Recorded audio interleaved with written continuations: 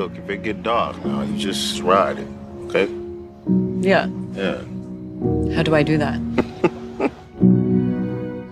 This is Causeway, streaming tomorrow on Apple TV, starring Jennifer Lawrence and Brian Tyree Henry. It is about a woman who is serving in the military and she suffers from a traumatic brain injury.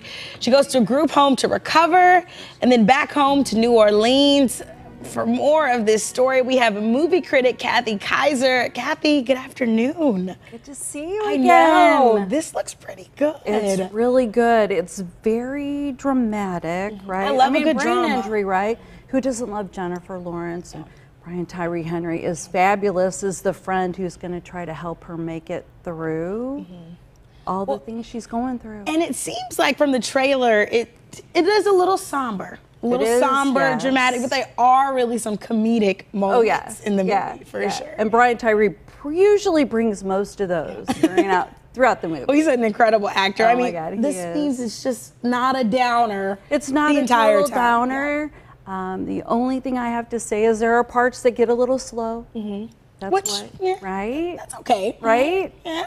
And what did you think of the performances of Jennifer Lawrence and Brian Tyree? I mean, they're both incredible. Who doesn't love Jennifer Lawrence and everything she does? Literally and this is really a somber role for her, but she's fabulous. And the struggle she has to face trying to come back home, trying to adjust her brain injury, what's all involved with all of that. But and I can't tell, but is it a love story? you know, they keep you guessing till the very Oh, end there. Okay. Well, it seems like there are some some friendly moments, but some very deep and they intimate are. moments. There are.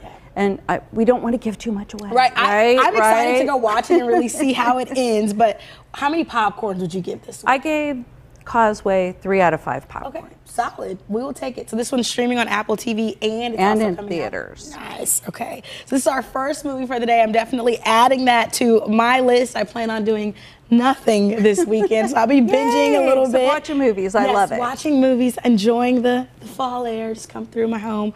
Okay, next one. This one also looks amazing. Yes. This is Armageddon Time. It actually is part of the St. Louis International Film Festival. Tell us a little bit about this one. Oh, this one's very good. It's set in 1980. A young man named Paul is in a friendship with a black young man in public school, and his Jewish family decides they're going to send him to private school because they're kind of getting a lot of trouble.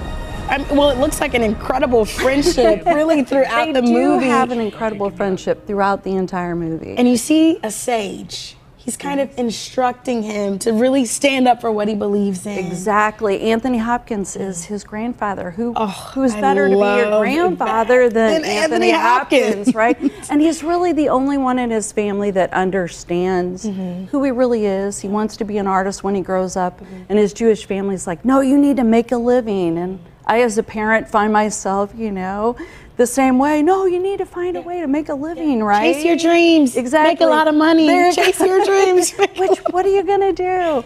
But I mean, Anne Hathaway, Jeremy Strong, like I said, Anthony Hopkins. Mm-hmm.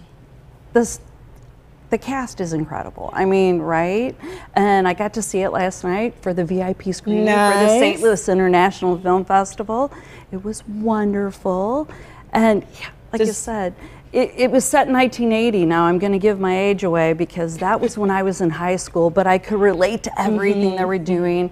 You know, from Ronald Reagan about to be elected president. Yeah, we see snippets of that. Right. Well, you said it was wonderful. How many popcorns would you give it? We're going to give it four out of five. Ooh, that means it's pretty good. So I have two good movies to watch Exactly, this weekend in St. Louis. So do you. You can catch both of these movies Yes, in in theaters. theaters, Nice. yes. And if you're interested in learning more about what to watch and what to keep up with, you can follow Kathy Kaiser online. It's Matinee Chat with Kathy Kaiser. You can show her some love on Facebook, Instagram, and on Twitter. She's keeping you in the know of all of the great things to see around town. So Kathy, thanks so much for being with oh, us. Oh, today. thanks so much for having me. Absolutely. St. Louis, don't go anywhere. We'll be right back after this quick break.